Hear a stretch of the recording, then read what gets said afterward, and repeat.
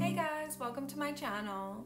Let's dive right into the last area to explore regarding put downs and constant criticisms you might experience from your inner circle or loved ones.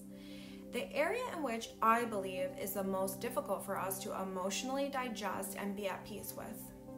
Imagine the same scenario we played out in part two.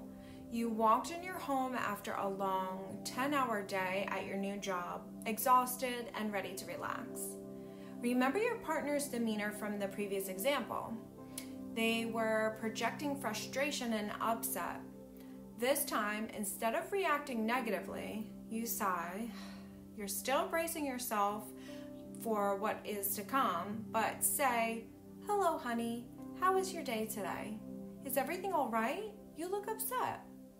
Your partner retorts, No, stupid. Everything's not all right when I must come home to a mess because you don't know how to wash a dish or fold laundry. I have told you time and time again, and yet your thick head just cannot allow that I need help. It's no wonder you got laid off from your last job for being so useless. First of all, what does helping out around the house have anything to do with getting laid off from a professional position? Secondly, why use rude words like useless no matter how angry or upset your partner might be? This language is not and never is okay. But do remember, you're always at choice, even in these volatile situations. You can easily come back at your partner with rude and hurtful words, screaming and yelling, or even silence, none of which are productive. They do not clearly communicate and express your feelings and issues with what just happened.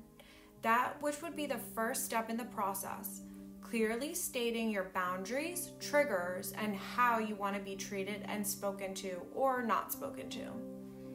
This may not come at the moment. It would be very hard for anyone to react clearly in the face of someone trying to push buttons or coming at us when we first walk through the door but you can ask your partner to sit down and have a meaningful discussion with you when the emotions have calmed. If you're feeling this is so me, you might be thinking, well, I've already tried this.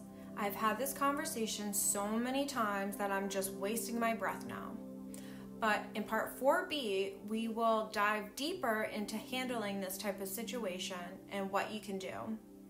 To get a more detailed account of Part 4A, check out my blog series. As always, just head over to feathersjourney.com and click on the blog link to read more. And as always, don't forget to like and subscribe. Thanks, guys!